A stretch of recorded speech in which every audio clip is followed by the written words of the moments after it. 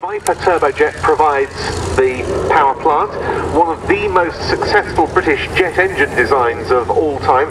The Mark III also introduced ejector seats, wings and the wingtip mounted fuel tanks you can see on this one to give it slightly longer range. And it came into service with number 2 flying training school at Syerston in 1959 and the first all-jet training course on the Mark III graduated the following year. This is a T3A.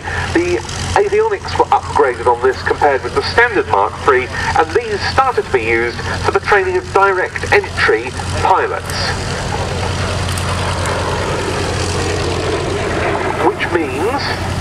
A direct entrant from school, doesn't it? Indeed it does, yes indeed. Now you mentioned the engine, the um, Viper. Uh, of course that engine has an interesting